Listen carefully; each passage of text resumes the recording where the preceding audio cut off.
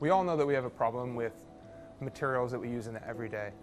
We have 8 billion metric tons of plastic waste that have accumulated in the oceans for 8 billion people. That's over a metric ton of plastic per person. And what we're trying to do at Fabric Nano is we're trying to solve this problem by making bio-based and sustainable chemicals more commonly available, and we're particularly focused on commodity chemical manufacturing.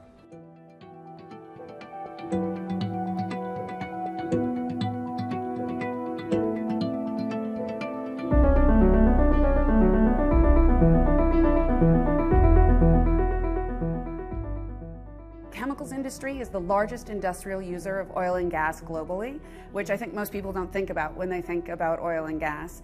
And, but we're looking to bring that down by reducing their reliance on petrochemical feedstocks and valorizing waste stocks and other bio-based feedstocks for chemical processes to make the same end chemical, but in a way that doesn't damage the environment.